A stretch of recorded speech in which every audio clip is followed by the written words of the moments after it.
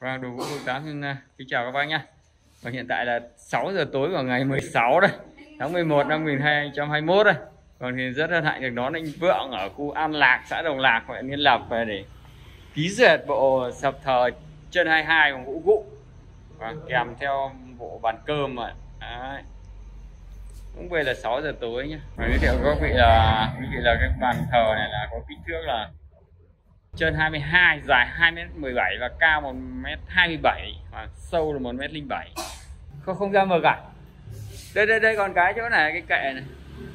Còn cái bút đây này. Được à đây, chủ sở hữu là anh à, Vượng. Ở khu An Lạc, xã Đồng Lạc và Yên Lộc này. Vâng. Đấy, đi cả văn cơ vào chứ. Cả văn cơ mà. Ý là đây này. À, quần áo đấy lên là đèo rồi Đúng 6 giờ tối của ngày à, 16 tháng 11 đây hai năm 2021 Đấy.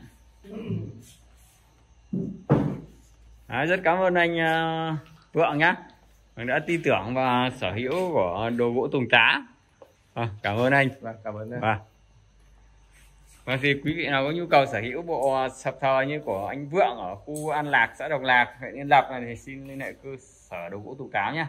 Đây chất liệu gỗ cụ nhìn hàng rất là vip đấy. Hàng đục tay. Chân đục tay và dạ yếm đục tay hết. Gỗ vụ cụ lạc. và thì à, xin à, chào à, các bác nhé.